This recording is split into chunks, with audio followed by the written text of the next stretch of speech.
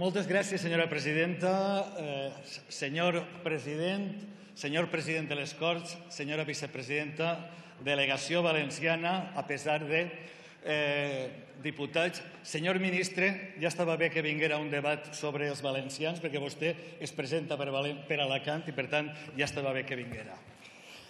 Un inciso. Efectivamente, Valencia pasó del olvido a la transformación, de 2.500 millones de deuda a 42.000, gracias al Partido Popular. Señora Bonich, gracias al Partido Popular. Gran transformación, Partido Popular.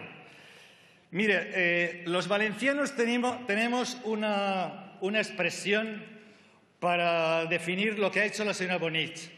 Quina barra, quina barra, quina poca vergoña, qué desvergüenza, qué desvergüenza.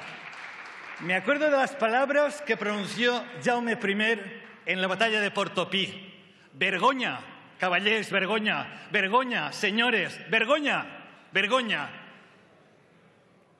La reforma del Estatuto Valenciano llega aquí con cinco años y medio de retraso. Cinco años y medio que no hemos podido aprobarla. Han tenido mayoría absoluta aquí, han tenido mayoría absoluta allá, han tenido mayoría absoluta en las diputaciones, en Valencia, en Castellón, en Alicante, y no han hecho nada. Nada. ¿Sabe qué preferían hablar aquí? ¿Sabe de qué discutimos aquí? De los pitos en la final de la Copa del Rey. De eso discutimos, señor Bonit, señora Bonit. Era importantísimo para los valencianos. De eso discutimos. Mire, esto a veces no se ha podido discutir aquí. Cuatro veces se aplazó. Y usted era consellera. Usted era consellera. Cuatro veces se aplazó, algunas veces con un argumento tan peregrino como que no habían tenido tiempo de nombrar a los representantes. No lo que pasó ayer, usted que tanto critica al gobierno del botánico. Ayer se hizo un pleno para que usted pudiera venir. Eso lo hubieran podido hacer y no lo hicieron y por eso es la tercera vez que lo discutimos aquí y la sexta vez que el estatuto, la reforma del Estatuto Valenciano viene aquí. Per l'amor de Déu, per l'amor de Déu. Es que, es que la vergoña... Bueno, vamos a ver, mire, ¿sabe cuánto nos ha costado que esto no se aprobara aquí y no se llevara a cabo? Y no lo dice una persona moderada como yo, no, lo dicen los radicales y los extremistas de la Cámara de Contratistas de la Comunidad Valenciana. En los años en que usted fue consellera, en los años que el PP tenía mayoría absoluta, la Cámara de Contratistas de la Comunidad Valenciana, radicales y extremistas, como usted, como usted, dicen que la Comunidad Valenciana dejó de percibir 1.679 millones. Por su culpa, por su grandísima culpa, señora Bonic. Y usted era consellera de infraestructuras y no hacía nada. Nada. Mire, en los, en los años que hemos tenido aquí, lo que vamos a aprobar hoy aquí es una cosa de sentido común, razonable, moderada, y es decir, que las inversiones, las inversiones en los presupuestos generales del Estado tengan que ver con el peso poblacional. Perfecto, absolutamente elemental, justo, razonable.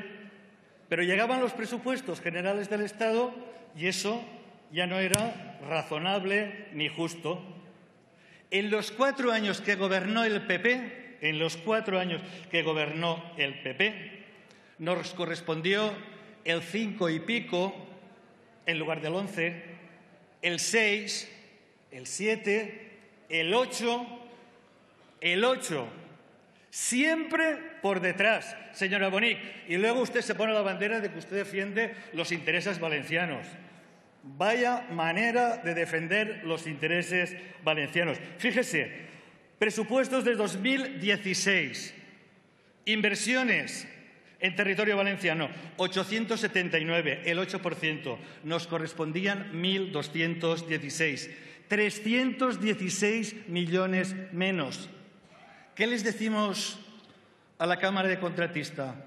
¿Qué les decimos a todos los colegios que no se han podido hacer? Señora Bonic, por su culpa, por su grandísima culpa.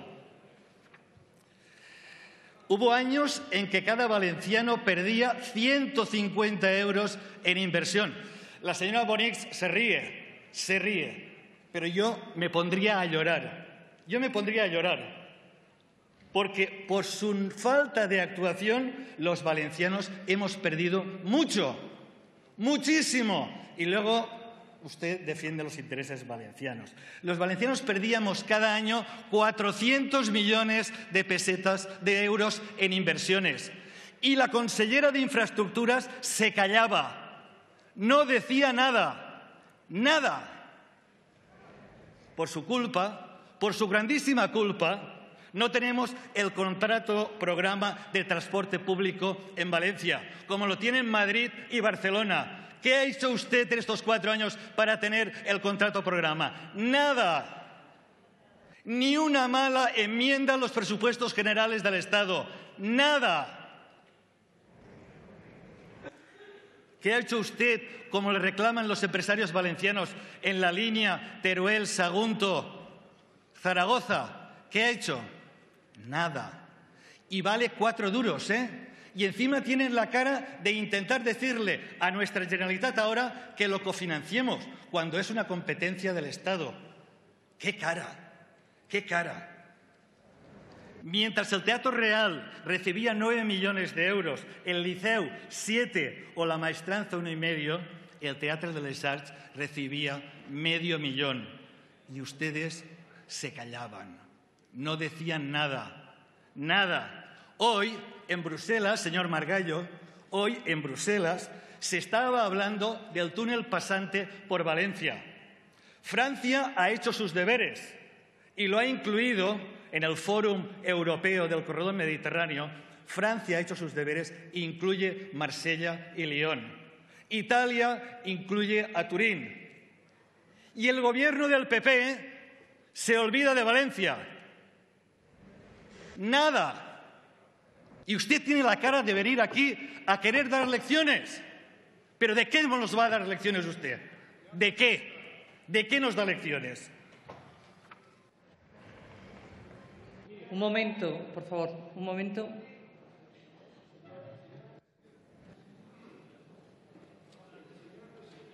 Señoría, señoría, si usted quiere intervenir, le daré la palabra al terminar el señor Baldoví. Continúe, señor Valdoví. descuénteme el tiempo. Eh, mire, a mi entender y al de muchos, el PP, el PP ha sido una plaga para los valencianos. Ustedes han sido eh, ¿Puedo hablar? Estoy hablando. Señoría, señoría, señor Valdoví, señor Hernando. Por favor, le ruego a todos silencio. Y cuando termine la intervención del señor Valdoví, que le queda un minuto veinticuatro segundos, a partir de ahí. Señor, señor Valdoví, señorías, saben que la presidencia siempre es muy flexible con los tiempos. Y no se preocupe usted que de ese minuto y cinco que tiene ahora, no se preocupe que yo tendré el ajuste de tiempo.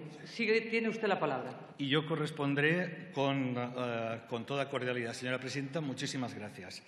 Mire, anteayer la señora Bonic decía, y estoy hablando de infraestructuras, señor Hernando, por encima del corredor mediterráneo, infraestructuras, infraestructuras, está la unidad de España. Se quedó tan pancha, tan satisfecha. Mire, la unidad de España es la unidad de todos sus ciudadanos de todos sus ciudadanos. Si somos un 12% más pobres y encima pagamos más a otras comunidades más ricas, lo que tienen que trabajar es para que los presupuestos generales del Estado se cumpla esto que se han traído hoy aquí, que los presupuestos, que las inversiones se acerquen a la población. Y eso es lo que no se ha hecho. Señora Bonic, los valencianos no comemos de sus palabras grandilocuentes y de sus discursos fieros, los voy a reconocer, pero huecos. Mire, corredor mediterráneo, que es una infraestructura que no se ha podido hacer porque esto no se ha aprobado. No se ha aprobado. Daría competitividad a la Ford. Un coche con el corredor mediterráneo hecho estaría en Alemania 400 euros más barato que ahora. Eso es hablar del pan de los valencianos. Eso es hablar de dinero. Nuestras naranjas serían más competitivas. Nuestro mármol del Vinalopó, nuestra cerámica, nuestro turismo, nuestras cercanías en Castelló. De eso comemos los valencianos, de tener unas infraestructuras que hagan a nuestras empresas y a nuestra agricultura competitivos. Voy acabando, voy acabando. Mire, señora Bonic, señores del Partido Popular, vamos a votar ahora una propuesta del Parlamento Valenciano que dice que en los presupuestos generales del Estado, en los próximos presupuestos generales del Estado, se aplique, se aplique la relación de la población a la inversión. Los valencianos somos el 11%. Nunca, nunca hemos llegado al 11%. Espero que si votan a favor, todos los que van a votar hoy a favor, espero que lo apliquen. Si quieren ustedes ser útiles a los valencianos, ahora que ya sabemos seguro que el señor Rajoy va a volver a ser presidente, cuando alguna gestora se aclare si va a ser ahora o si va a ser dentro de tres meses. ¿Quieren ustedes ser útil? Peleen con su partido, con su presidente, para que aplique esto en los próximos presupuestos generales del Estado. Me queda 10 segundos. Peleen por hacer enmiendas de verdad en los próximos presupuestos generales del Estado. Peleen porque se aplique de una vez un modelo de financiación que no nos castigue. De manera harán honor a las palabras que Jaume I puso en su testamento. Amar y proteger a todas las personas y al pueblo el poble. No parlem del poble impunement. Fer regnar la justícia i velar perquè els grans no oprimisquen els menuts. Moltes gràcies.